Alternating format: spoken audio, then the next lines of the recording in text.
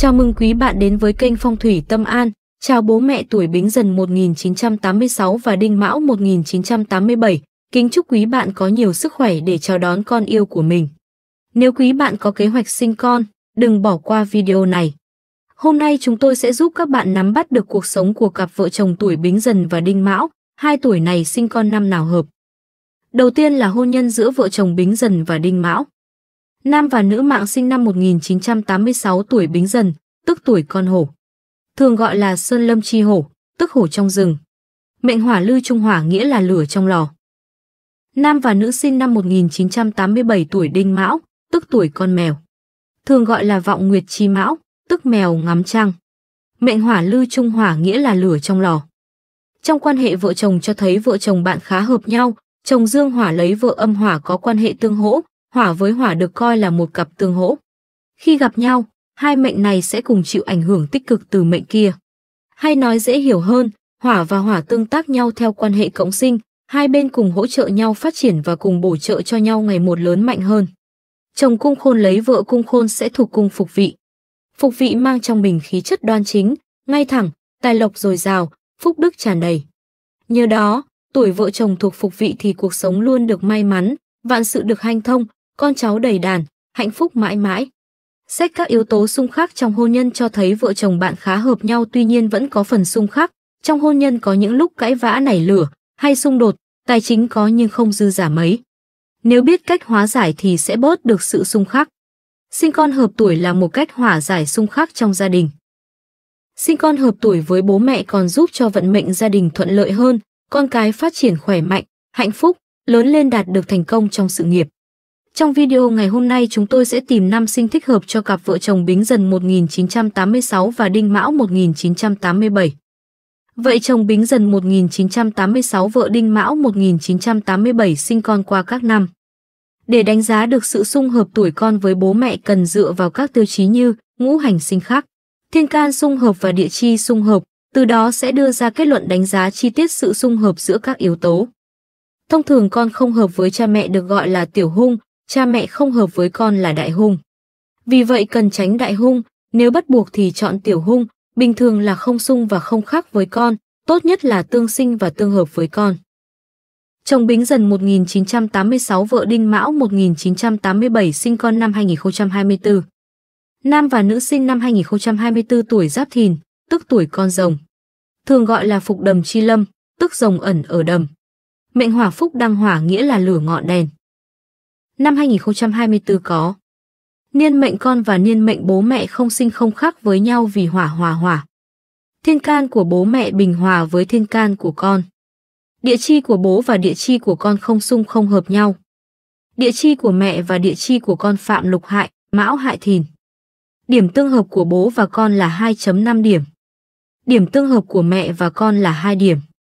Năm 2024 là năm có các chỉ số điểm tương hợp giữa ngũ hành, thiên can, địa chi của bố mẹ và con khá thấp, 4.5 trên 10 điểm. Như vậy, tuổi chồng Bính Dần 1986 vợ Đinh Mão 1987 không hợp tuổi sinh con năm 2024. Chồng Bính Dần 1986 vợ Đinh Mão 1987 sinh con năm 2025. Nam và nữ sinh năm 2025 tuổi Ất Tỵ, tức tuổi con rắn. Thường gọi là xuất huyệt chi già, tức rắn rời hang. Mệnh hỏa phúc đăng hỏa nghĩa là lửa ngọn đèn. Năm 2025 có Niên mệnh con và niên mệnh bố mẹ không sinh không khác với nhau vì hỏa hòa hỏa. Thiên can của bố mẹ bình hòa với thiên can của con. Địa chi của bố và địa chi của con phạm lục hại, dần hại tị, phạm tứ hành xung, dần, thân, tị, hợi, lại phạm tương hình, dần, tị, thân chống nhau. Địa chi của mẹ và địa chi của con không xung không hợp nhau. Điểm tương hợp của bố và con là 1.5 điểm. Điểm tương hợp của mẹ và con là 2.5 điểm. Năm 2025 là năm có các chỉ số điểm tương hợp giữa ngũ hành, thiên can, địa chi của bố mẹ và con khá thấp, 4 trên 10 điểm. Như vậy, tuổi chồng Bính Dần 1986 vợ Đinh Mão 1987 không hợp tuổi sinh con năm 2025. Chồng Bính Dần 1986 vợ Đinh Mão 1987 sinh con năm 2026. Nam và nữ sinh năm 2026 tuổi Bính Ngọ, tức tuổi con ngựa. Thường gọi là hành lộ chi mã, tức ngựa chạy trên đường. Mệnh thủy thiên hà thủy nghĩa là nước trên trời, Năm 2026 có Niên mệnh con tương khắc với niên mệnh bố mẹ vì thủy khắc hỏa, mệnh con không tốt cho mệnh bố mẹ. Thiên can của bố mẹ bình hòa với thiên can của con. Địa chi của bố và địa chi của con đạt tam hợp, dần, ngọ, tuất.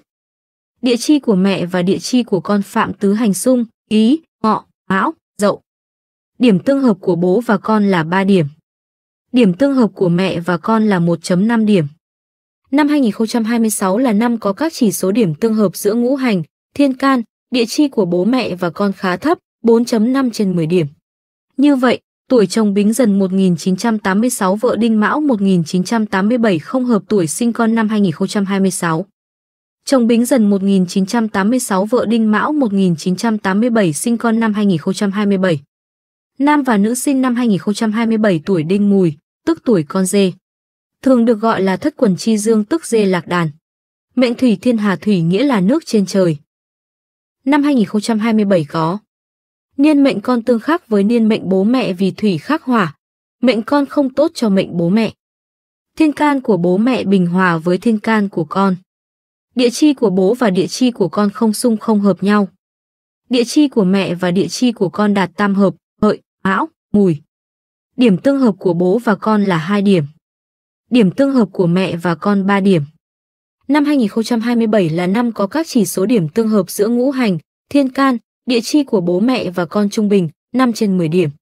Như vậy, tuổi chồng Bính Dần 1986 vợ Đinh Mão 1987 có thể sinh con năm 2027. Chồng Bính Dần 1986 vợ Đinh Mão 1987 sinh con năm 2028. Nam và nữ sinh năm 2028 tuổi Mậu Thân, tức tuổi con khỉ. Mệnh thổ, đại trạch thổ nghĩa là đất nền nhà. Năm 2028 có Niên mệnh bố mẹ tương sinh với niên mệnh con vì hỏa sinh thổ. Mệnh bố mẹ làm lợi cho mệnh con. Thiên can của bố mẹ bình hòa với thiên can của con. Địa chi của bố và địa chi của con vừa phạm lục xung, dần xung thân và phạm tứ hành xung, dần, thân, tị, hợi, lại vừa phạm tương hình, dần, thân chống nhau. Địa chi của mẹ và địa chi của con không xung không hợp nhau. Điểm tương hợp của bố và con là 2.5 điểm. Điểm tương hợp của mẹ và con 3.5 điểm. Năm 2028 là năm có các chỉ số điểm tương hợp giữa ngũ hành, thiên can, địa chi của bố mẹ và con khá tốt, 6 trên 10 điểm. Như vậy, tuổi chồng Bính Dần 1986 vợ Đinh Mão 1987 hợp tuổi sinh con năm 2028. Các năm sinh con hợp nhất với hai bạn là 2011, 6 trên 10 điểm, 2018, 7.5 trên 10 điểm, 2019, 7 trên 10 điểm, 2021, 7 trên 10 điểm, 2028, 6 trên 10 điểm, 2029, 6 trên 10 điểm, 2036, 6.5 trên 10 điểm.